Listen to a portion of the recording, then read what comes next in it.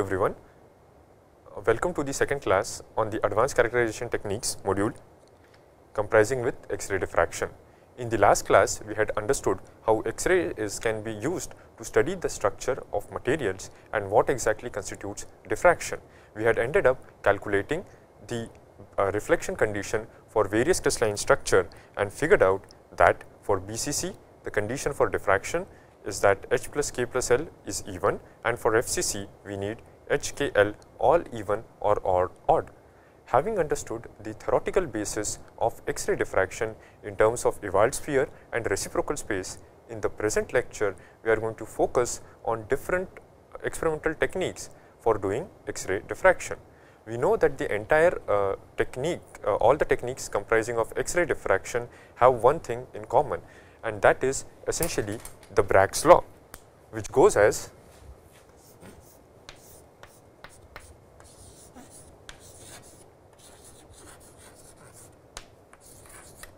So, we know that for a given crystalline material the d is related to the lattice parameter.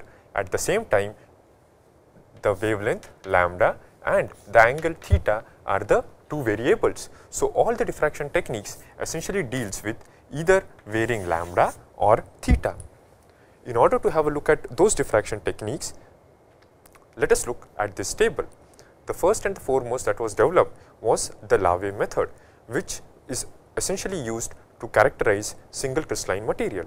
As you can understand that a single crystalline material has a fixed reciprocal space and to get diffraction is much more difficult compared to a polycrystalline material wherein you would expect that all different grains will have a corresponding reciprocal space which is of all different orientations. Therefore, we need to use a variable or white radiation. Now, the white radiation essentially ensures that we have an Ewald sphere with varying uh, uh, radius. This essentially ensures that the chances of the Ewald sphere meeting some part of the reciprocal space or reciprocal point is much much higher and hence the probability of diffraction increases. Particularly this is very important for single crystalline materials uh, wherein diffraction condition is very stringent. Having said that in a even more challenging case is wherein we do not have any idea about the existing crystal structure of the material. In that case, not only the reciprocal space uh, uh, orientation is unknown, the reciprocal space itself is unknown or rather the reciprocal space vectors are unknown. In order to map this reciprocal space, generally we use what is known as a rotating crystal method, wherein we use a fixed wavelength and the sample is uh, angle or theta is varied in most of the uh, to most of the values. This is essentially used to determine the unknown crystal structure. I would like to mention that though it is much easier for me to write it here that rotating crystal method can uh, give us information about determination of unknown crystal fixed wavelength lambda and by varying angle theta it is a, it is quite complicated and a field in itself altogether. What most of the time we end up using in a laboratory uh, uh, scale X-ray diffraction is essentially the Debye or a normal powder diffractometer in which case the wavelength is fixed and the theta is varied. Now, this kind of this technique we use routinely to characterize powders as well as polycrystalline materials. This kind of technique provides a wealth of information about the lattice parameter, the phases present and various other things which I will demonstrate in the later few slides.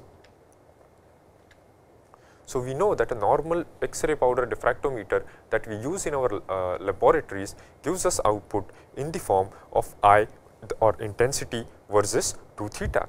Another question that arises and is very important is we talked about Bragg's law and we all have recollected by now that Bragg's law deals with n lambda is equal to 2 d sine theta. So, the obvious question arises is from where does we get this value of 2 theta. So, I would again like to draw back your attention to the first figure that we had seen in the last class. Herein we see that the detector makes an angle of 2 theta with the incident beam. Therefore, if the sample is moving at an angle of theta, the detector is essentially moving at an angle of 2 theta. Therefore, whenever we do normal powder diffraction, we essentially end up getting a I versus 2 theta plot From this plot, we have to calculate theta and use it in the Bragg's law. However, in order to understand which peaks are present in the diffractogram which is shown over here, we can do simple calculations. Again we go back to the Bragg's law and if we rewrite it considering first order reflection, we do get lambda is equal to 2 d sin theta and then substituting d for cubic crystals uh, it is A divided by h square plus k square plus l square and then substituting and rearranging the terms we do get that our h square plus k square plus l square is proportional to sine square theta. So, once you obtain a diffractogram essentially we calculate the theta at which the peaks are present and then calculate the ratio of sine square theta. However, I would like to caution you that this is applicable only for single phase materials in case of multi-phase materials, one needs to use uh, a software that can take care of all the peaks which are present in the diffractogram. Having said that, I hope you have noticed that the diffractogram is characterized by a couple of things. We see a variation in intensity of the peaks as well as the peak broadening and all this gives us a lot of information about the structure of the material. So, let us go back and concentrate on powder diffraction. So, depending on the Bravais lattice, various diffraction conditions can easily be uh, calculated and we find out that for simple uh, cubic, all diffractions are possible, while for body centered H plus K plus L even are necessarily present, while H plus K plus L odd are necessarily absent, while for face center cubic HKL unmixed are always present, while HKL mixed are always absent.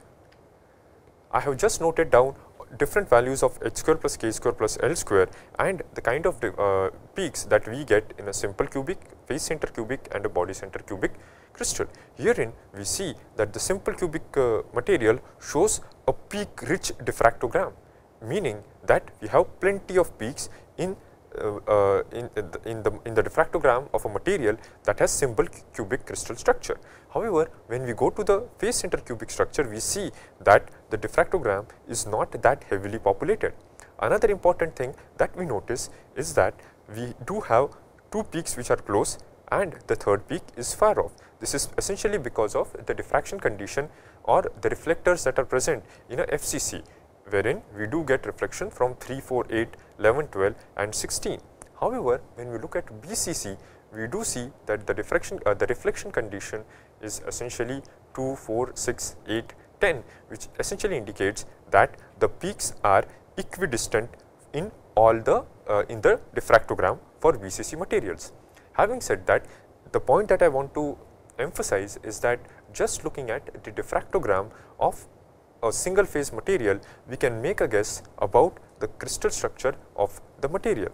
Another important caveat that I would like to bring to your notice and which is generally missed in most of the textbooks is that we do not get uh, a peak even in simple cubic case for h square plus k square plus l square is equal to 7 and this is essentially because the sum of no 3 squares adds up to 7.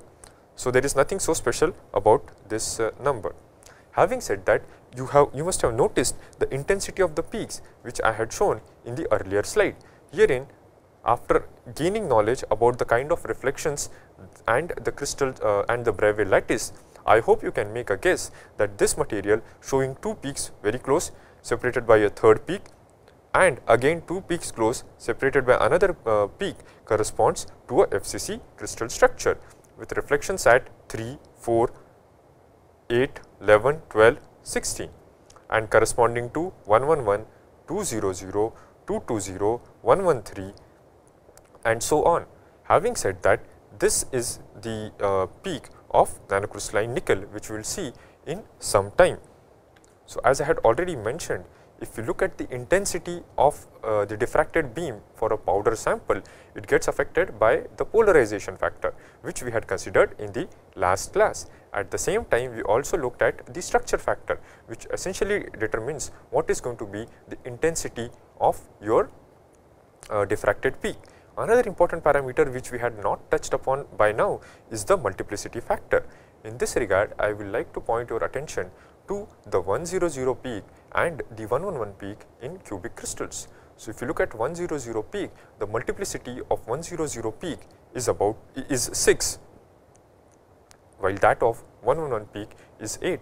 Therefore, we can believe that if we consider only the multiplicity factor, the ratio of intensity of the 111 peak will be 8 by 6 times that of 100 peak. Uh, another important parameter that affects the diffraction uh, condition it's, is the Lorentz factor, which is essentially uh, due to the fact that diffraction occurs not only exactly at the Bragg angle, but at angle slightly away from the Bragg angle. Uh, the kind of polarization because of uh, Lorentz uh, contribution as well as the original polarization factor is generally combined together and when plotted together shows this kind of a variation. So, whenever we compare different uh, diffractograms or different peaks in the same diffractogram, we have to account for the Lorentz factor. Another important parameter that generally affects diffraction and we tend to and which is generally ignored is the absorption factor we all know that whenever X-rays are incident on a material, part of it gets absorbed and therefore, there is an additional path length that is to be considered. However, in most materials, the absorption of X-rays is not significant and it can be easily neglected. One important parameter that is not really valid for room temperature deformation, uh, rather room temperature uh, X-ray diffraction, but becomes very important at high temperature is the temperature factor. We all know that all the calculation for structure factor and X-ray intensity is based on atoms sitting at a particular point in the crystal structure. However, we all know that the, that the atoms are not actually sitting at a particular point in the lattice, but they are constantly vibrating. Now, this vibration of atoms is directly proportional to the temperature and hence with increasing temperature there is a decrease in the intensity of the of the uh, diffraction pattern and this becomes particularly important for doing high temperature study involving phase transformations. Having understood the various factors which uh, govern the intensity of uh, the diffracted beam, we will now shift our focus and have a look at the actual way we go about indexing. So, all the peaks what uh, in the diffractogram can be indexed manually and then we can go back and, uh, and uh, compare them with a lookup table. So, the earlier lookup tables which comprise uh, a lookup table which comprised of all the database was maintained by the Joint Committee for Powder Diffraction Standards. So, these are like standard charts wherein for specific materials all the diffraction information is tabulated. This committee has now been uh, renamed or uh, renamed or rechristened into the International Center for Diffraction Data. So, this database contains all the data pertaining to all the available uh, materials uh, or materials which are uh, which have been identified till date. Having said that, I will now give you a glimpse of how does one of the file looks in uh, the database since we are discussing on nickel, I have chosen the file for nickel and herein you can see all the information contained in the file. So, in addition to the lattice parameter and the angles, we also see that other important information like the density, volume of the unit cell are also mentioned. Having said that, the most important parameter that we get from this database is what is known as the stick pattern. So, this essentially shows the theoretical uh, variation of intensity with respect to the theta value for in the diffractogram. Herein we can see that the different peaks shows different show different intensity. Now, the variation of intensity is directly proportional to the structure factor of the corresponding orientations. Since we are talking about uh, FCC nickel, we can see that the 111 uh, peak which has the highest uh, structure factor and multiplicity shows the highest peak and the other peaks namely the 200, 220, 113 and the remaining peaks also show intensity in accordance with the structure uh, factor and multiplicity calculation. Now, these are theoretical you know intensity variation shows a nice match with the theoretical calculations because they are obtained on random powder samples. However, we know that most of the materials that we use are hardly anything but random and this is what is shown in our nickel slide. So, this nickel which I was uh, showing in the last uh, few, few slides essentially is a bulk electrodeposited nanocrystalline nickel. So, we see a quite a few important things in the diffractogram. The first and foremost important thing that we see in the diffractogram is that the peaks are replaced. The strong peaks that we saw in the earlier uh, stick pattern are replaced with broadened peaks. Therefore, we do get diffraction at not just the Bragg's, uh, Bragg angle, but at an angle slightly away from the Bragg angle. This essentially is due to the mosaic structure of the crystals. In this particular case, this is essentially due to the nanocrystalline structure of the uh, nickel sample under consideration. Another important observation that we make is the change in intensity levels of the different peaks. In the stick pattern, we do see that the first peak, namely the 111 peak is the strongest peak, followed by the other peaks. However, when we look at this diffractogram, we do see that the 111 peak is no longer the strongest peak. However, the 200 peak shows the highest intensity. This essentially indicates that the sample under consideration shows preferred crystallographic orientation which is also known as texture. Another important point that is to be mentioned is that the exact lattice parameter of, of the nanocrystalline nickel obtained from this uh, uh, diffractogram is slightly different from the one that was expected in the stick pattern.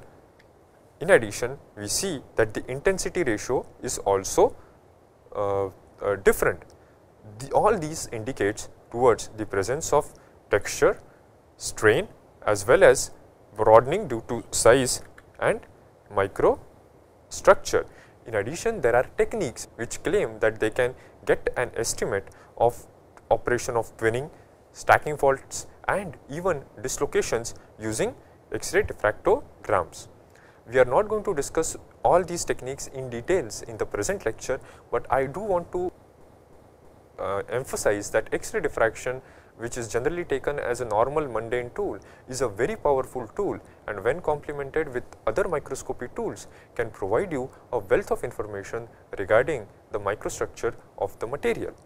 Another misnomer that I encounter is powder diffraction, uh, but we see that we end up using the material uh, mostly all polycrystalline material bulk materials for doing X-ray diffraction. And it gives us the same kind of information as we do get in fact much more than what we get in case of powder diffraction. And hence I personally believe that powder X-ray diffraction is essentially a misnomer and it should be replaced by polycrystalline X-ray diffraction. Since polycrystalline X-ray diffraction encompasses all the information pertaining to the size, strain uh, and uh, crystallographic texture which is relevant to a given microstructure.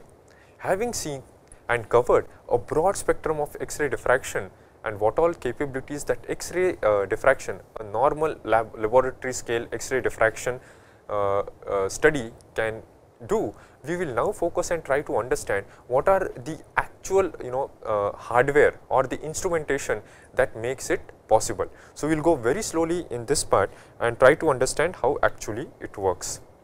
So, when we go to a normal X-ray uh, diffraction facility, we come across what is known as a diffractometer. A diffractometer comprises as we all know we need a source to generate X-rays. Having said that we just can't use the X-rays, we need to massage them, you know kind of modify them to get them in a particular shape, uh, particular size and particular uh, uh, coherence uh, so that we get proper Bragg's diffraction. Having said that, once our X-rays interact with the matter, we also need to collect the signal and then use this signal to analyze our results. This is what is shown here in a small schematic. So, we see we need uh, a source to generate X-rays, we need what are what is known as the incident beam optics to massage the X-rays and produce X-rays in the proper format in which we want, then the X-ray is made to interact with the sample and then what all uh, signal we get is essentially uh, passed through the diffracted beam optics again to ensure that we are looking at a particular wavelength and then finally it goes to the detector. I would like to again and again mention that the entire exercise of going for incident and diffracted beam optics is to ensure one that we are looking at the wavelength of interest because most of the studies that we are looking at the wavelength has to be constant and second we are ensuring that the profile of the beam remains the same. Therefore, the, uh, the need for the optics in X-ray diffraction. Before we move ahead, let us look at the diffractometer itself. So, I hope you have appreciated that diffractometer is nothing but an assembly which comprises of the source, the detector, the optics and the sample. So, a diffractometer can be obtained essentially in what is known as a theta theta geometry. Now, what is theta theta geometry? We have gone and we have looked at the diffraction condition time and again. So, let me just go back and let us have a look at the diagram which we have seen for umpteen times. So, let us focus on this diagram and herein we can see that as I had mentioned that our detector is moving at 2 theta and the sample is fixed over here. So, in there are two ways of doing it.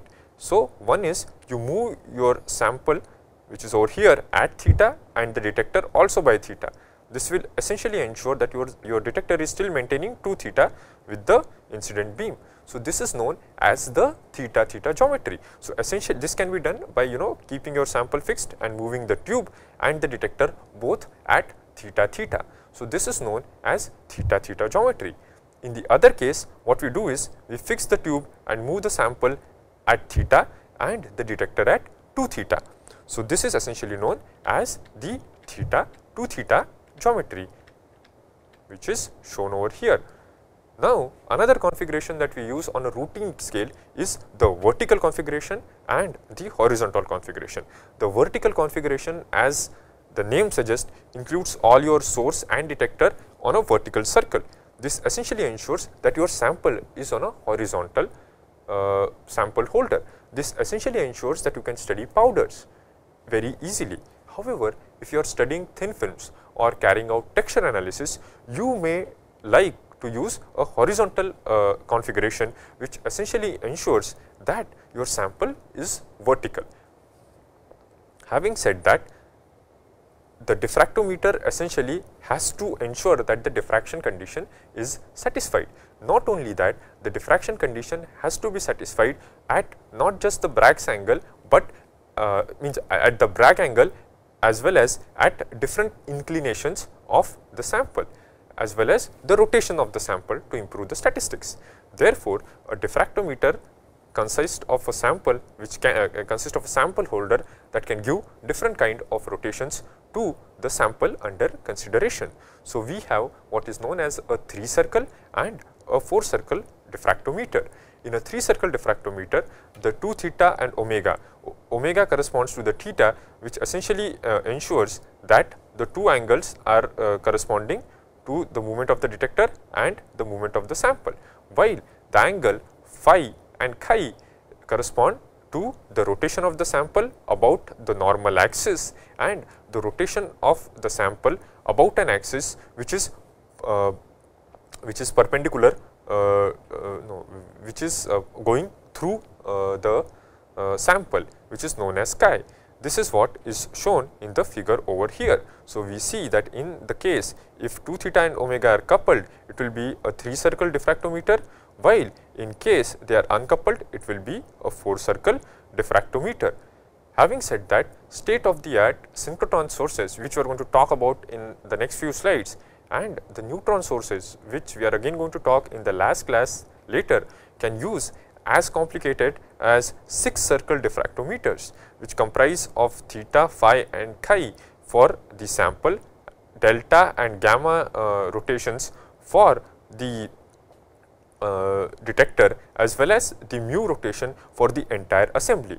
Let us not go into the details of uh, uh, the 6 circle diffractometer, but the point that I want to uh, pass on is that the diffraction condition is not just simple theta theta which may come uh, theta theta or theta 2 theta 2 circle uh, diffractometer, but in order to do advanced studies and do proper sample alignment we do need this uh, flexibility of rotating the sample in but in different ways. And therefore the need of 3 circle and 4 circle diffractometers.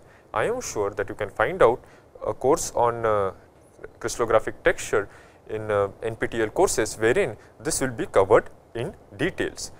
At the same time, in your uh, in a course comprising of thin film diffraction, you will also find the great use of using a 4 circle diffractometer. Having said that, about we talked a lot about you know kind of rotation of the sample and all, but the most important thing in my opinion or for that matter for diffraction to occur is the uh, alignment of the sample. At the same time the ability to look at the region of interest. Many a times we may find some particular region uh, of interest in the given sample and therefore, the XYZ translation is very important. The XY translation helps us to move and focus our X-rays to the point of interest, while the Z translation essentially ensures that the sample follows the alignment exactly. So, if the sample is exactly at the center of the diffractometer as seen over here, uh, we see that diffraction condition is satisfied. If it is not there at the center and slightly above or below it, we may see that all the peaks in the diffractogram may be shifted and this may be just an artifact of sample misalignment. Now, the sample misalignment can be taken care of by using a knife edge or a laser. State of the art diffractometers use a video microscope with laser to align the sample in uh, in a particular uh, align the, uh, the sample perfectly. Now, let us go back and look at part by part what constitutes actually a diffractometer. So, we know that X-ray uh, uh, diffractometer comprises of a source, the beam, uh, the optics and the detector. So, let us first look at the source. For this, we need to understand X-ray generation in details. So, we know that for X-ray generation conventionally, we use a X-ray tube. At the same time, uh, if we need more intensity, we use what is known as a rotating anode X-ray tube, which comprises of a rotating anode. Recently, there have, has been a development of liquid metal X-ray sources, which provide high intensity X-ray at with a very small spatial size. Another important uh, source of X-ray which has uh, captured uh, imagination of researchers over the last couple of years is the synchrotron which essentially provides wavelength ranging from infrared to uh, X-rays. So, uh, X-ray tube essentially comprises of electrons which are accelerated towards a metal anode. We all of us know that electrons which are emitted because of thermionic emission travel and hit the metal target and produce X-rays. I am not going to go in details of X-ray generation uh, in details, but I will touch upon it in a later slide. However, I hope you can appreciate that if all the electrons are hitting uh, the metal target, there is going to be a temperature rise and therefore, water cooling which is not shown over here is essential. However, I hope you appreciate that the electrons are hitting the uh, metal anode at the same particular point and hence uh, it can uh, the flux of electrons can only be uh, to an extent which can sustain uh, so that the metal can sustain this uh, flux of electrons without getting evaporated uh, or melting. Therefore, in order to avoid this deficiency, there has been a development of what is known as rotating anode. In case of rotating anode uh, source, we have a rotating uh, anode comprising of a metal with high melting point like tungsten and moly this rotating anode which is physically rotating at the same time which is cooled essentially ensures that the electrons which are uh, hitting uh, the anode are hitting in different regions ensuring that the flux of electrons that are heating uh, the anode and producing X-rays can be much much higher. The rotation of the anode essentially ensures that the sample uh, the flux of electrons and therefore the flux of X-rays can be higher without overheating the uh, anode. This essentially ensures that the X-ray intensity obtained from a rotating anode is much higher than that of obtained from a normal X-ray tube. Another important uh, observation is that the X-ray tube comprises of metal anode which can be of uh, different elements like copper, chromium, uh, moly, uh, uh, etc. However, for anode uh, we for rotating anode we do need a high melting point uh, element so that it can endure the flux that is incident on, on the anode and release X-rays of very high intensity. Just to show you the different kind of uh, rotating anodes that are uh, available, we do have a small angle anode which where essentially you see that this angle over here is, uh, is essentially quite small and it gives a small focal spot while in case the angle is large we do see that we get a large focal spot. Now, depending on our requirement we can go for a large or small focal spot. Having said that as I had mentioned rotating anode of tungsten or moly gives you high flux. This micro focus rotating anode is at best 10 times brighter than a conventional X-ray tube. Another recent development uh, in the uh, area of uh, X-ray uh, source has been the evolution or the development of what is known as liquid anode liquid anode X-ray tubes. I would like to mention that the most important pro problem that is essentially the Achilles heel in getting X high X-ray intensity in X-ray tubes as well as rotating anodes is the heat or the uh, removal of heat from the anode.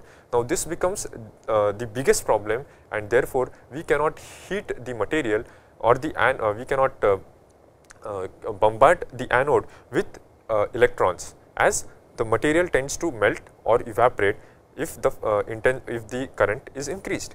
However, with rotating however with liquid anode we do have a constant flow of liquid and the electrons are always hitting a new uh, interface comprising of liquid. Therefore, there is no problem of overheating and we can obtain very high intensity uh, as good as 100 times brighter than the uh, X-ray tube. Another important uh, uh, uh, advantage is the very the beam size that we can obtain with a liquid anode X-ray tube which essentially ensures that we get a very high intensity and small focused uh, X-ray beam. Uh, the metals like uh, gallium and gallium, indium and tin alloys are used for generation of liquid anode uh, X-ray tubes. Uh, a lot of literature is available recently uh, and I, I, request you to go through what all existing literature on the liquid anode technique. Another important uh, thing that I had mentioned uh, which can provide a very good source of X-rays is synchrotron which provides intense beam. Uh, a line says which I have borrowed from the Canadian light source essentially says that it is brighter than a thousand suns. However, uh, as we all know the access to synchrotron uh, radiation is many a times limited.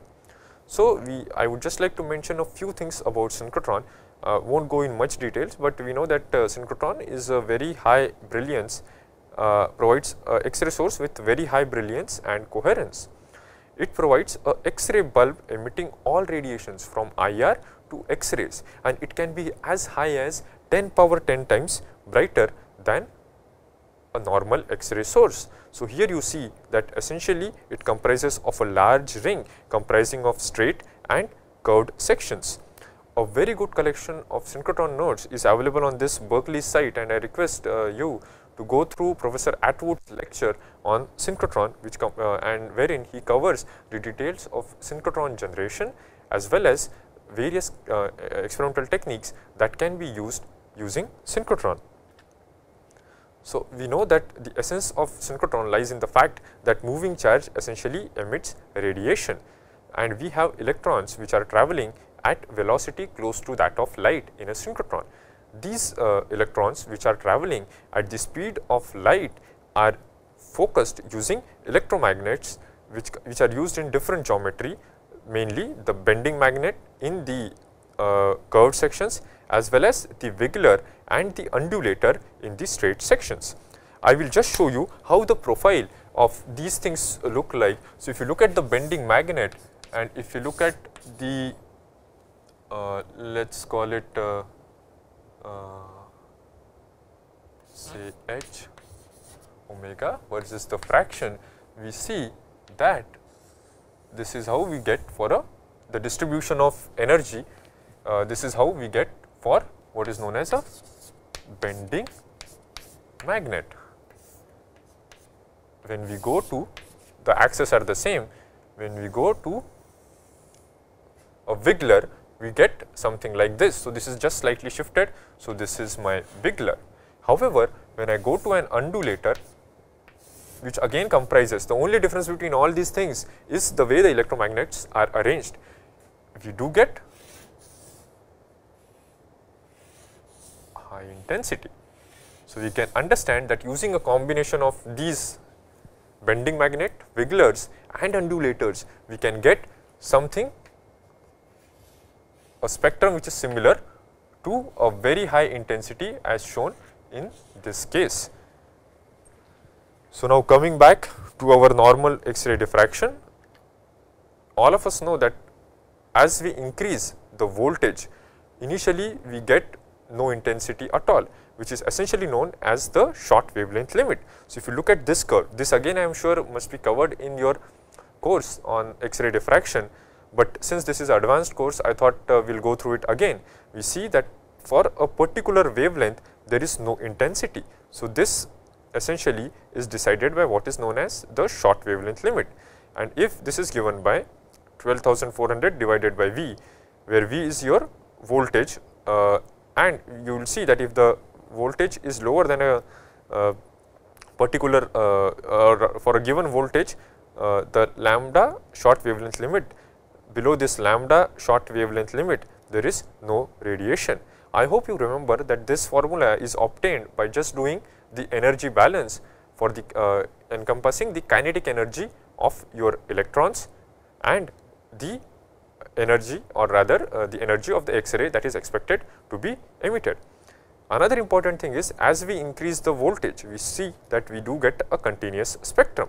Now, the intensity of the continuous spectrum is given by A i z v to the power m where m is generally equal to 2 and z is your uh, atomic number and A is a constant and I is the current. So, we see there is a continuous spectrum.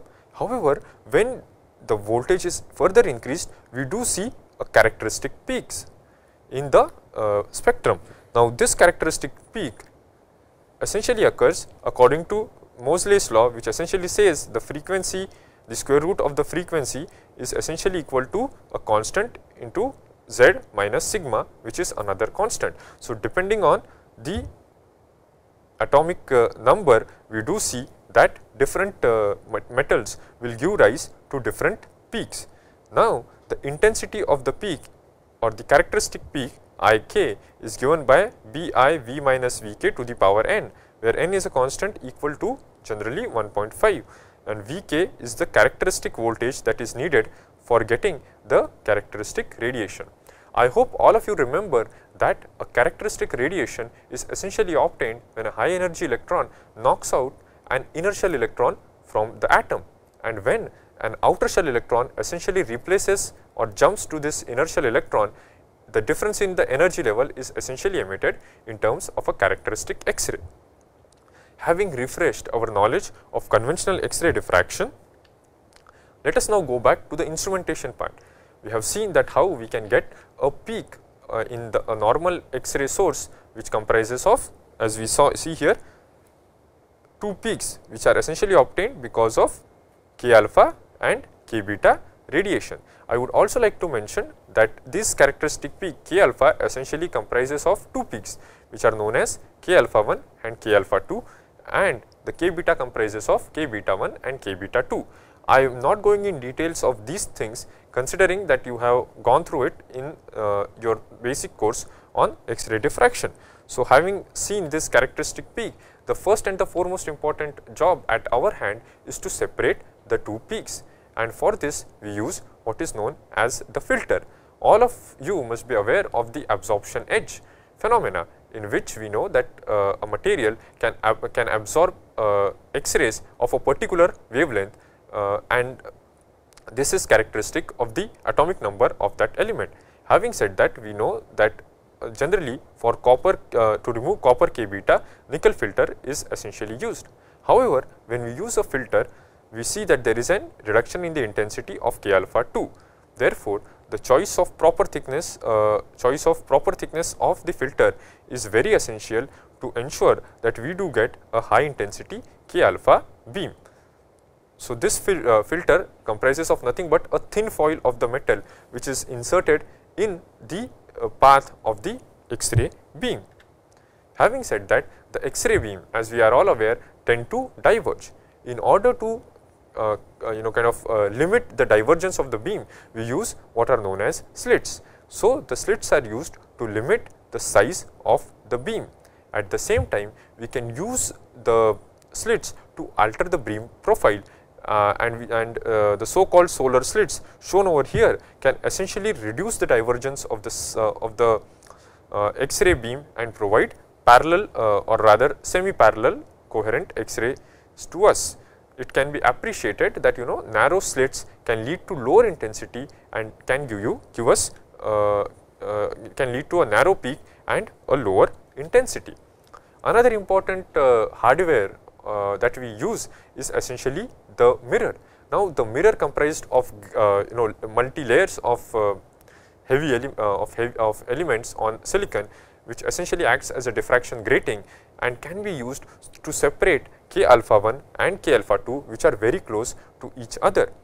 At the same time we can also use what is known as a monochromator for uh, which consists of a particular crystal like the one uh, shown over here namely the silicon and graphite uh, crystal the silicon being a much better uh, monochromator than a graphite to separate the k alpha 2 peak.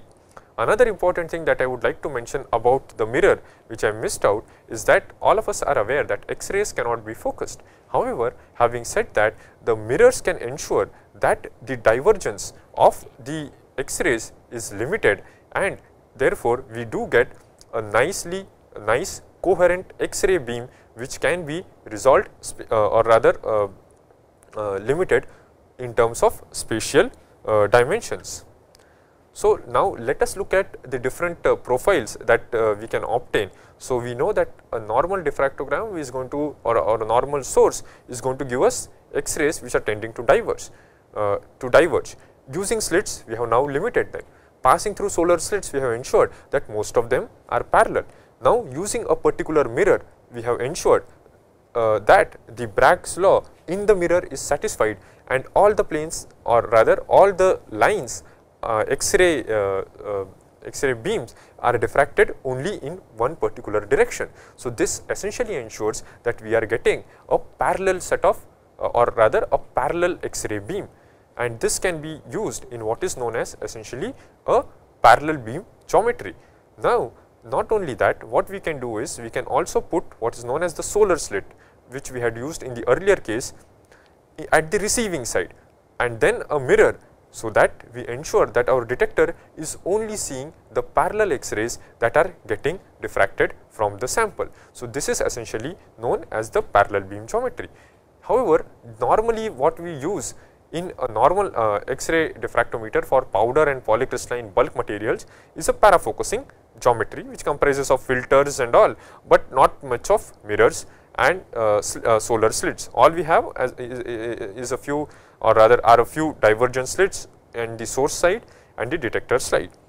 Having said that there are certain applications uh, like what I had mentioned like texture measurement or residual stress measurement where we need a point focus. Herein we can see that the X-ray is focused into a point. A good uh, op uh, observation or rather a good option is to use a uh, rotating anode source which provides a very uh, small but coherent source of X-rays. However, those sources are very rare and pretty costly. So, a normal point source can be obtained using what is known as a polycapillary. A polycapillary essentially comprises of a lot of uh, optical fibers and the X-ray beam which is incident essentially undergoes complete internal reflection ensuring that we do get a high intensity of X-ray beam with smaller spatial size. So, this can be used essentially for characterizing uh, texture and residual stress, while the par normal parallel beam which I had shown over here can be used mostly for characterizing thin film samples. So, I would just like to give you a comparison of the parallel beam and parafocusing geometry. But before I do that, I would like to mention that even in the point focus, we do have a nice parallel beam geometry. Only thing is the spatial size of this particular geometry is reduced by an order of magnitude. So, to compare the parallel beam and parafocusing geometry, I would say that the X-rays are aligned for the parallel beam, while the X-rays are diverging for the parafocusing geometry the parallel beam geometry gives lower intensity for bulk samples and that is why we do not use it regularly while for normal bulk and powder samples we use the normal parafocusing uh, geometry which gives higher intensity. However, when whenever we come to smaller samples or thin film samples we go and use a parallel beam geometry because parafocusing geometry gives us a lower intensity.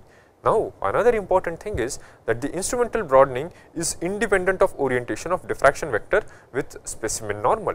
Now, remember we had talked a lot about you know these angles which tend to rotate the sample as well as rotate your detector namely the phi, the chi which essentially you know kind of rotate your sample in a, along the axis which is perpendicular to the surface of the sample at the same time along a axis which is passing through the sample. So, this which is known as the chi uh, rotation looking at the pen this is the chi rotation and this is the the phi rotation. So, you can imagine that in order to you know get good diffraction data in such a case the most important thing is to use a parallel source uh, or a parallel beam geometry and therefore, almost all thin film measurements, crystallographic texture and residual stress measurement are carried out using parallel beam geometry and this is what is mentioned in the last slide. At the same time, we know that the parafocusing geometry is very suitable for normal Bragg-Brentano geometry. This is the this is something that we go to the normal X-ray diffractometer, take in our sample, put it in the diffractometer and that this is what we get. However, the parallel beam geometry as I mentioned is useful for stress, texture and also for grazing incidence X-ray diffraction. We will cover this GI XRD part in the next to next uh, lecture, but keep this in mind that the entire geometry, the entire spectrum of diffraction can be covered just by playing with the optics and the source used in a normal diffractometer. So, having said that, now let us look at what exactly happens once the sample has interact, uh, once the X-rays has interacted with the sample having uh, after this interaction we do get a signal. Now, once we get this signal we can again pass it through the optics part which I had shown earlier to ensure that we are getting a particular wavelength. I would repeat that the entire thing that we are talking about the powder diffraction or polycrystal diffraction and its various uh, subdomains essentially deals with only a single wavelength and therefore, it is important to get information from a particular wavelength. Having said that, this is probably the only reason why we need a lot of optics in the kind of uh, source side which essentially ensures that you are producing only one particular wavelength to interact with your sample. However, I hope you remember that you know the interaction of X-rays with material can also lead to what is known as fluorescence and produce X-rays with a different uh, frequency or wavelength. Now, if that happens you do not want that noise to come and interfere with your detector signal and therefore, you have to again put the same optics or similar optics rather from your source side to your detector side to ensure that you are looking at one particular wavelength of your interest. Once the X-ray beam passes through all these optics, it then encounters the detector which essentially reads the intensity of the X-rays and the angular dependence. So, detector comprise can be classified depending on dimensions as 0D, 1D and 2D. So, let me first uh, talk about the concept of uh, dimensionality of detectors. So, all of us know that the Bragg's law is not simple as simple as it sounds and it is anything but just reflection of X-rays from So, this is how generally we draw Bragg's law incident beam and this is the diffracted beam.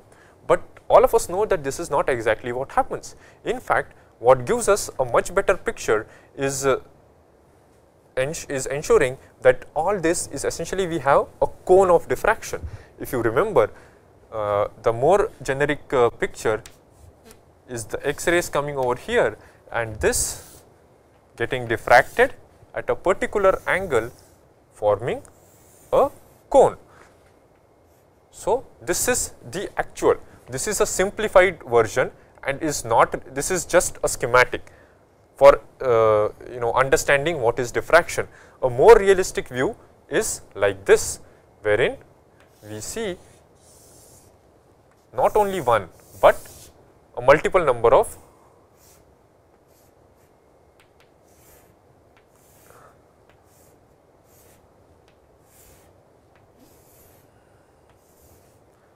multiple number of diffraction peaks occur. Now, having appreciated that diffraction comprises of diffraction cones rather than diffraction lines, I would like to mention that the detector is essentially uh, has to see part of this thing. So, we can imagine that if we take something like a normal uh, film, a photographic film which we do generally in the Debye-Scherrer method, we know that we do see the intersection of these cones in terms of these arcs, right. So, this has this is probably the oldest detector that has been used or the oldest two dimensional detector that has been used to study X-ray diffraction. Now, I will go back and show you the state of the art detectors which can do uh, the counting of X-ray signal and convert it to electronic signal. So, we have what is known as a single photon detector which reads only one theta or one angle at a particular time. So, this comprises of the normal scintillation detector comprising of sodium iodide which essentially on hitting the X-ray we do get the emission of a photoelectron and this uh, photo electron is then passed through a photomultiplier tube to generate a electrical signal and this electrical signal is proportional to the number of X-ray photons hitting the sodium uh, iodide crystal. We can also use what are known as proportional counters and xenon gas which again lead to the interaction of X-ray with the gas leads to the formation of a uh, photo uh, uh, electron and which can be amplified to obtain current. Uh, another important thing is semiconductors. So, in case of a semiconductor detector what we have is once the X-ray interacts with the semiconductor we do get electron hole pair and therefore a current which is directly proportional to the number of X-ray photons uh, uh, you know hitting your detector. So, the detector can give us information in single dimension or what is known as 1D detector.